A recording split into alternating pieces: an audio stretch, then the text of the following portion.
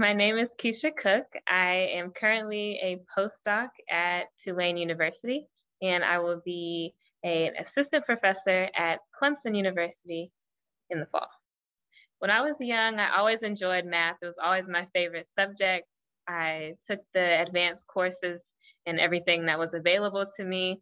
But fun fact, I also taught my sister, Candace Cook, who's also in vet school right now. Um, I taught her math at a very young age, and she ended up skipping kindergarten, so going straight to first grade because she already knew all the math. So I knew at that time I wanted to do math in the future. I knew I wanted to become a mathematician after my senior year of college, undergrad. I met my advisor, Dr. Roger Sidje, at University of Alabama, and I liked and enjoyed everything that he was doing as a researcher and a professor, and I wanted to follow his lead. My research is in applied math and computational biology. So I study probability and chance of things occurring, but also the modeling side of that. So um, processes or things that are moving around in a space. And I want to study how they move around and why they move around the way they do. Um, this involves what we call stochastic processes, and that is randomness um, in movement of things. Um, so, in the biology side, we study um, organisms that are inside of human lung cells or inside of kidney cells, and we study them in terms of their movement um, and the processes that they need to complete to do their daily duties um, and uh, what kind of innovative ways can we recategorize the way they move. In K through 12 education, I think the biggest struggle was feeling like I shouldn't be there. I was usually the only woman, or at that time, young girl, um, or person of color in my classes and I was taking the advanced math courses and, and all the things that were available to me at that time, but not having anyone that looked like me in those communities and trying to find a mentor, trying to find a group of students to to connect with in those spaces over time.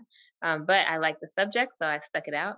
And then, I mean, that was through undergraduate as well. And I met the the best community that I have been a part of, Edge program, um, after my senior year of college. So that opened up so many other communities and just a big network of uh, Black women, women, and other women of color in mathematics, and just a community, not necessarily at my home university, but all over the U.S. and the world, actually.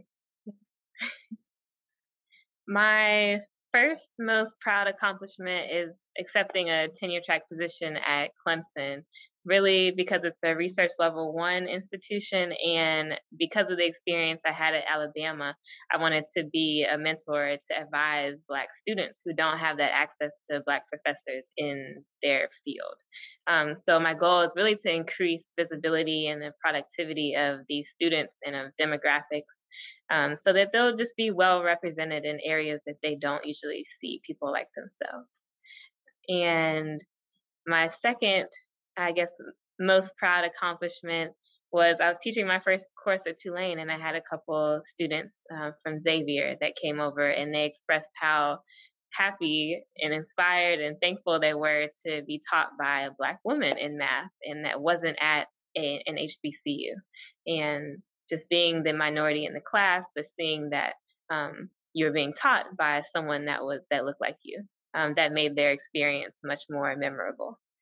I definitely had two big role models outside of my PhD advisor, um, but my other two role models were one Raegan Higgins, and she is associate professor at Texas Tech University, and she I met her during Edge program, and just her energy and the way she carried herself as a professor and then she was also a person also so she didn't let her career just take over and she has a life also so i like the way that she balanced her career and her life and still became a wonderful mathematician and then is also part of now a director of the edge program and just continues supporting women in math phd programs for as long as the rest of her career.